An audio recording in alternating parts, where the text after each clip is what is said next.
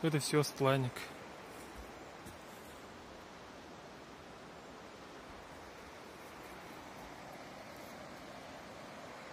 Какой высокий становится.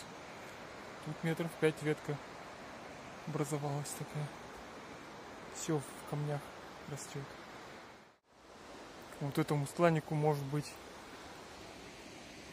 лет 500. Вон вот так да пошел.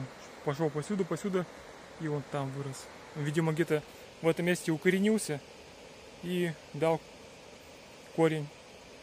И вот и растет. Несмотря на то, что тут влажное место такое, он все равно растет. Хотя стланник не любит влагу, как-то приспособился. Видимо, какой-то фенотип, который приспособился к высокой влаге. Там, слышите, водопад. Ну, речка течет. Совсем очень влажно. Вот этому стланнику, наверное, уже лет сто, может даже 200.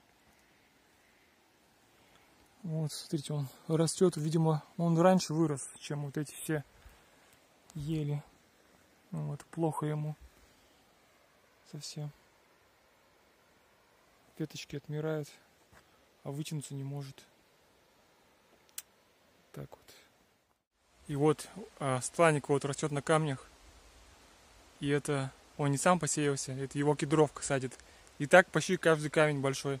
Кедровка засаживает его стланниками. Вот такой вот симбиоз между птицей и кедровым сланником.